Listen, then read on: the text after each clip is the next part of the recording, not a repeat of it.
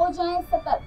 भूल कर भी इस समय में ना करें मनी का ट्रांजेक्शन, वरना झेलनी पड़ेगी आर्थिक तंगी। नमस्कार, मैं हूँ सुंदर और आप देख रहे हैं नेक्स्ट नाइन वास्तु शास्त्र के नियम हमारे जीवन में पॉजिटिविटी लाने के लिए मदद करते हैं। इसके साथ ही कहा जाता है कि अगर कोई भी व्यक्ति अपने घर और ऑफ़िस दुकान में वास्तु के नियमों का पालन करता है तो उसे तरक्की तो मिलती है।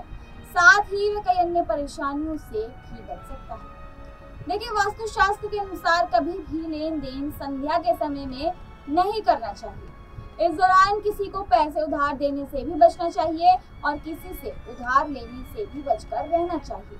वहीं अगर शास्त्रों की बात करें तो ब्रह्म मुहूर्त के समय पैसों का लेन देन ठीक नहीं माना जाता है। इसलिए पैसों का लेन देन इन समय पर करना ना तो अच्छा नहीं है। जी हाँ वही मान्यताओं के अनुसार संध्या का समय माँ लक्ष्मी के विचरण का समय होता है।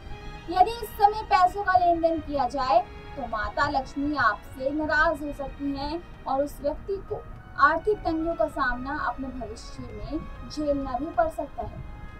ऐसे ही ब्रह्म मुहूर्त के समय भी माना जाता है। इस समय देवी देवताओं की आराधना का समय होता है और यदि इस दौरान आप किसी से पैसों का लेन देन करते हैं तो आर्थिक हानि आपको उठानी पड़ सकती है।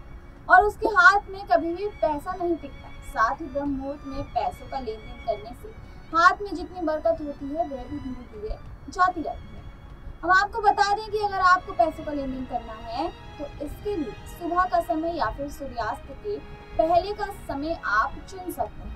इस समय में पैसों से जुड़े लेन देन किए जा सकते हैं, क्योंकि शास्त्रों में भी सूर्यास्त से ठीक पहले का समय पैसों से जुड़े कामकाज करने के लिए भी अच्छा माना जाता है।